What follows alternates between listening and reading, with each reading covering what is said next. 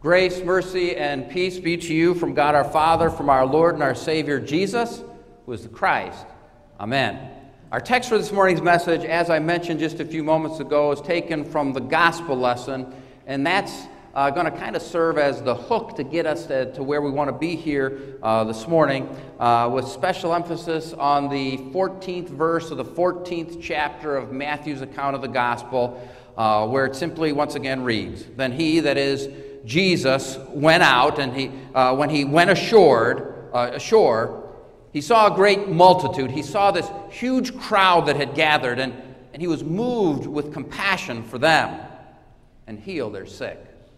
This is our text, dear family and friends in Christ Jesus. Amen. Today, what we're going to do in this uh, message is spend some time together looking at uh, different miracles of Jesus. And we're going to allow today's gospel lesson, uh, which is the account of Jesus' feeding of the 5,000, as I mentioned, to serve as a hook uh, to get us to, to be where, where we want to be here this morning uh, as we look at uh, the different miracles that Jesus performed. And with that being said, what I'd like to do here this morning, uh, when I first get started, is to say that, that uh, this morning I'm, I'm, I'm operating from the understanding that we all know and we all believe that, that Jesus was not only capable, but that he also did perform these miraculous signs that are, are recorded in Holy Scripture. Now, that may seem to be a little bit obvious. Some may say, well, duh, Pastor. Uh, but sadly, we live in a day and age where that really needs to be said where we come from the perspective and a clear understanding that we're talking uh, about our view with Scripture, that Scripture is indeed the inspired, inerrant, infallible Word of God. What we're talking about is that there are absolutely, positively no mistakes, no errors, no contradictions, any of that stuff found in Scripture. That, that Scripture is indeed 100% God's Word without doubt whatsoever. And so, with that being said, with that being the foundation, what I really want to do here this morning is to focus on the question why did Jesus do the miracles that he did?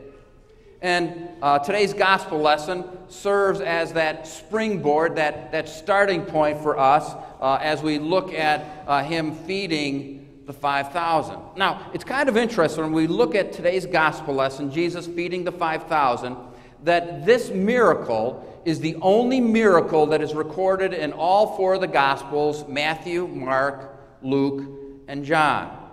And it's kind of interesting, and I'd encourage you maybe to do this a little bit later on today when you get home for your own personal devotions, if not today, maybe tomorrow, is to open up four different Bibles if you have them and, and uh, turn each one to Matthew, Mark, Luke, and John, each of their account uh, of Jesus feeding the 5,000.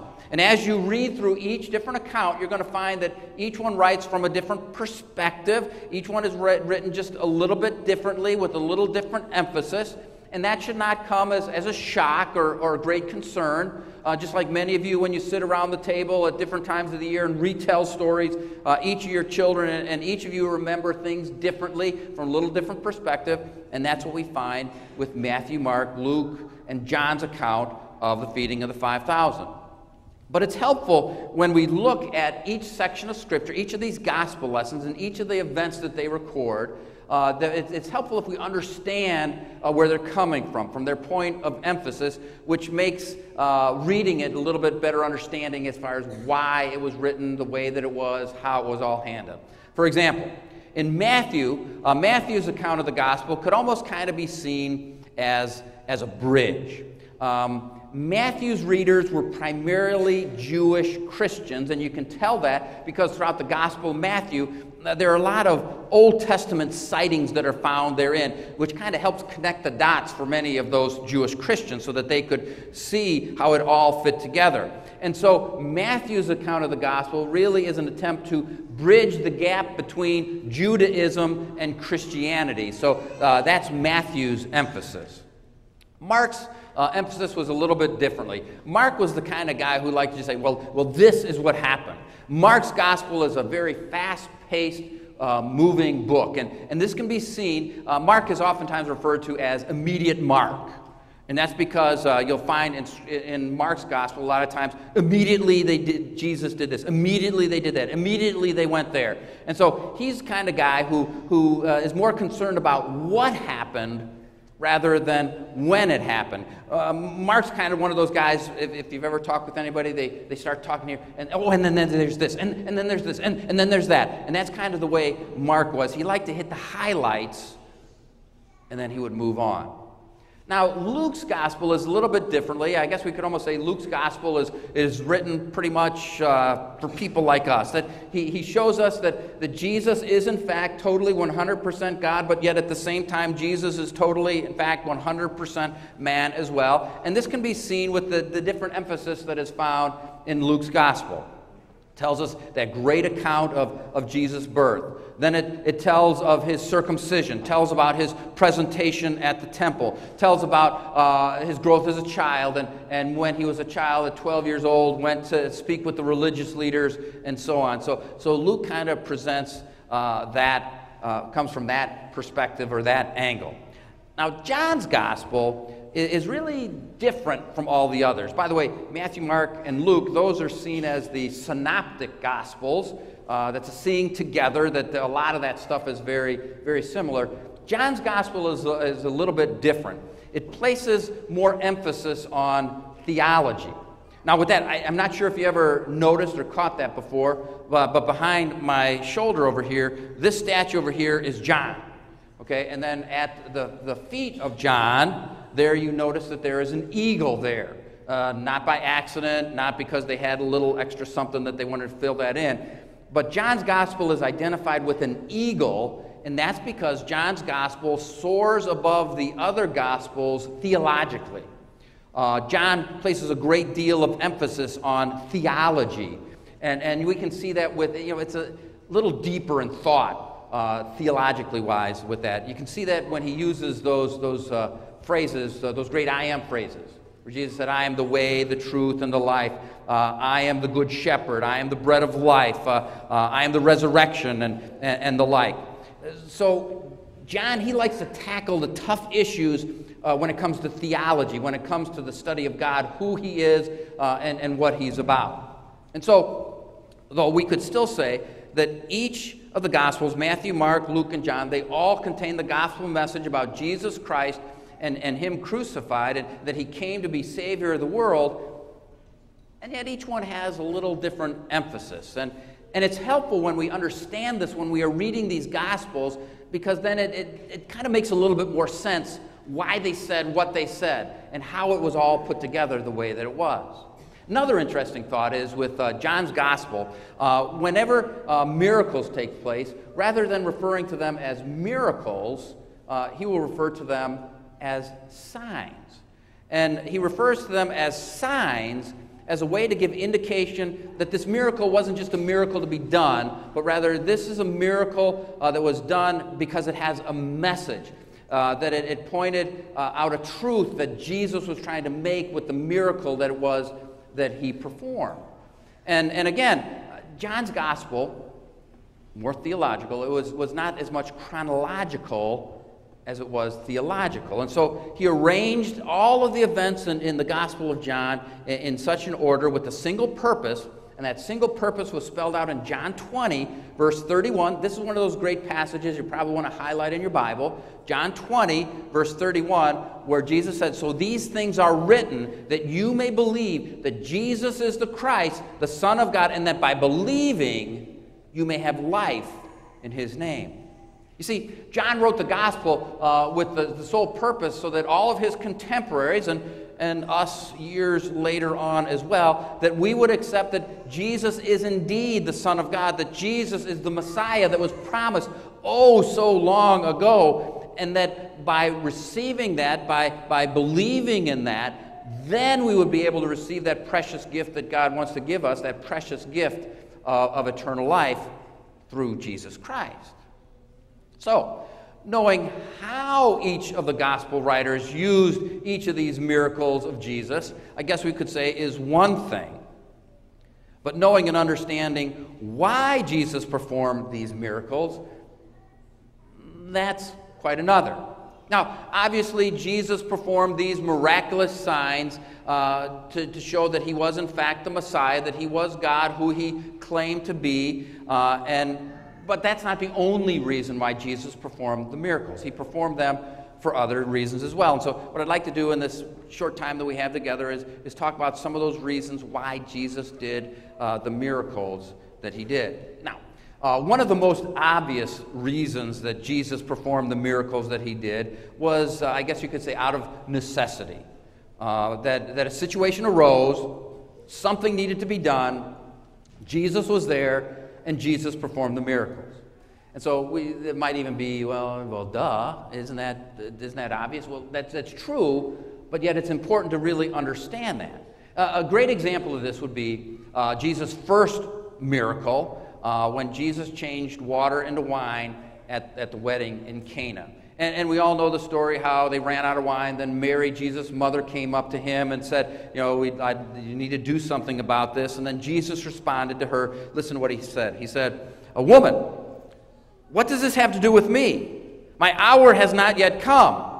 And then his mother said to the servants, Do whatever it is that he tells you to do. Now, it's true that that Jesus did show a little hesitation here, but uh, that was really to drive home the point that Mary had faith in him to be able to do something about the situation in which they were found. Uh, you can see that when she, after Jesus said that, told servants, go ahead and do whatever it is that, that Jesus tells you to do. The end result was that Jesus turned that water, the purification water, the dirty water that was used for cleaning the hands and getting ready for that, uh, into the best wine that the crowd had ever tasted. So, why did Jesus do this miracle? It was basically out of a necessity. There was a need, a situation rose where, where something needed to be done, and he took care of that. There was that immediate need, and, and his mom asked him to do that. Now, there were other times, though, when Jesus performed miracles in, in order to teach. A good example of this, uh, well, so that he could drive home the point that he was trying to make so that there'd be no question what it was that he was doing. A good example of this was when uh, Jesus was on uh, the Sea of Galilee and, and, that big storm arose. And, uh, you know, he got in the boat, storm arose, they, they sailed off. Sea of Galilee, not unusual to have these big storms. They're out in the sea. Uh, the wind started picking up, the waves started increasing, splashing against the boat. And, and the amazing thing was, in this process, Jesus was asleep in that boat. Uh, and, and then at that point, the, the disciples, uh, they lacked faith. They lacked trust that, that, that Jesus, that God had things under control. So they went in and they, and they woke Jesus up and they said, Lord, save us. We're all going to die. And he said to them, Why are you so afraid, you of little faith? And he got up, rebuked the winds and the waves, and immediately there was great calm. They were marveled, uh, marveled at that, and then they said among themselves, What sort of man is this that even the winds and the seas obey him? Now, certainly this miracle pointed to the divine powers that Jesus had, but it was far more than just that.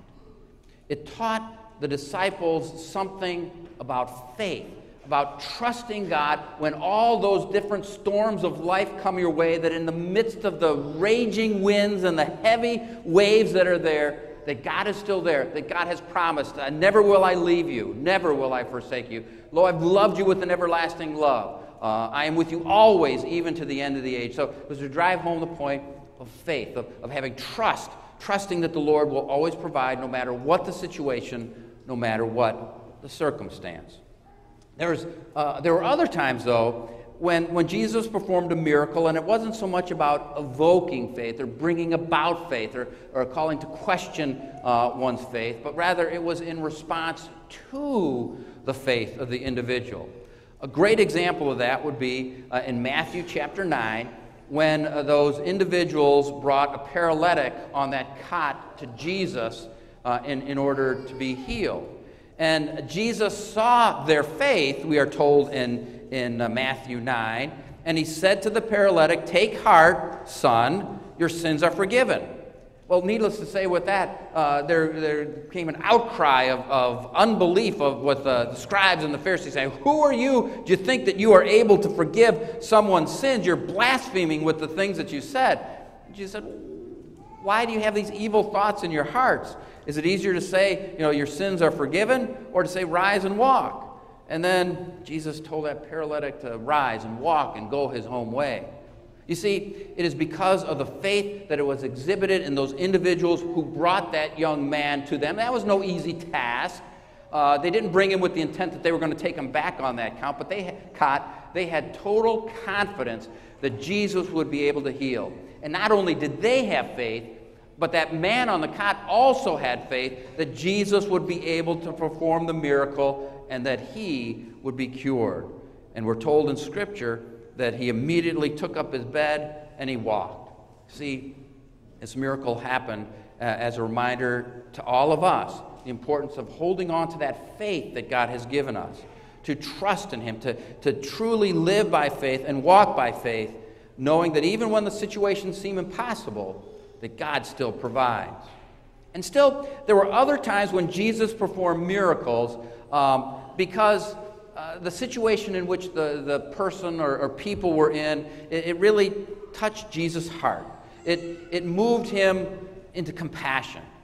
And that's where today's gospel lesson really comes into play. Again, Matthew 14, verse 14 tells us when he, that is Jesus, went ashore, he saw a great co- crowd and he had compassion on them and he healed their sick. This was also echoed in Mark's account of the gospel and uh, this account of the feeding of the 5,000 in Mark chapter 8, where uh, Mark recorded this. He said, Jesus said, I have compassion on the crowd because they have now been with me for three days and have had nothing to eat. And if I send them away hungry uh, to their homes, they will faint on the way.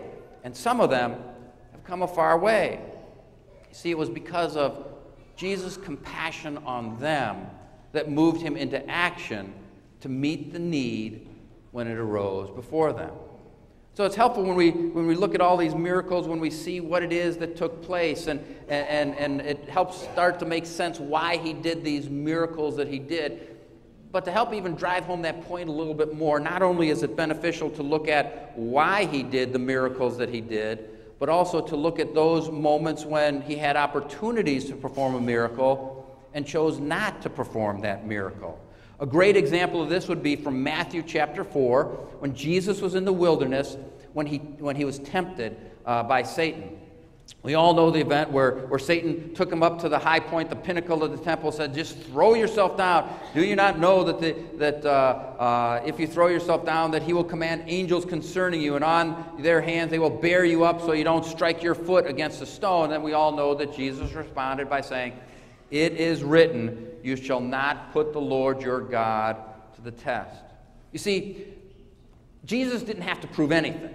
There was absolutely no need for Jesus to prove to Satan uh, that he was God. Uh, Jesus wasn't going to just perform miracles on command to show that he was the, the, the miracle man, the magic man who was able to do all these things. There was no imminent need, and so he did not do it. And, but rather, he waited for the right time, the right event, the right things to take place to do the miracles. Another example of time when, when uh, uh, he chose not to perform a miracle was when Jesus was in the Garden of Gethsemane with the disciples. We all know that story well. We hear it every year that when they were in there, when they were betrayed by Judas, Peter pulled out the sword. He cut off the ear of Malchus, the high priest's servant. Now, it's true, Jesus did perform a miracle by taking the ear, reattaching that there. That was a miracle that was there. But then Jesus told this to Peter. He said, Put your sword back into its place, for all those who take the sword will perish by the sword. Do you think that I cannot give appeal to my Father and he will at once send me more than 12 legions of angels? You see, he did perform the miracle of healing, but he could have done another miracle by bringing all these legions of angels down to destroy that army and have things under control. Uh, uh under control. But you see, it's really Jesus' restraint, not his performance of miracles, that give us the reason why Jesus did the miracles that he did. He refused to do this miracle of bringing down the legion of angels because it would have been counterproductive to his mission and ministry to be the Savior of the world. You see, even though we talk about it, say what could have been, what, you know, how dare they do this and that, all that stuff, like it or not, Jesus had to fall into the hands of the soldiers. Jesus had to die on the cross. For you see, without the cross, there would be no resurrection.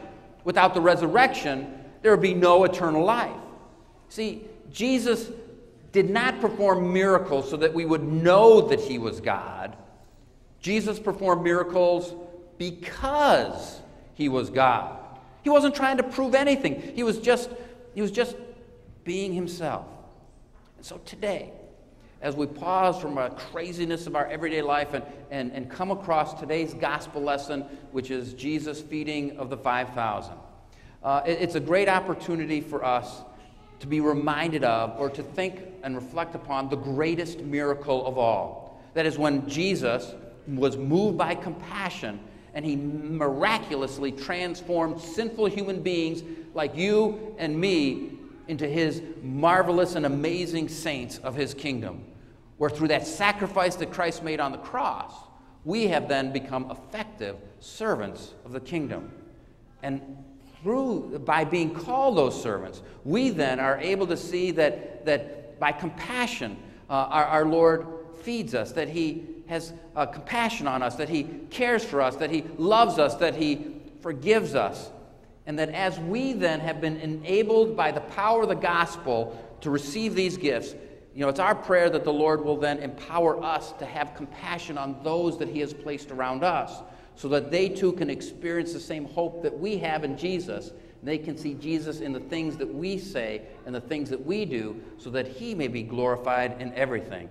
So it's my prayer the Lord will bless you as you never forget and always hold on to the greatest miracle of all, where God has changed you into his amazing saints for his kingdom. In Jesus' name, amen. And now, may the peace of God, which far surpasses all understanding, keep your hearts and minds in true faith to life everlasting. Amen.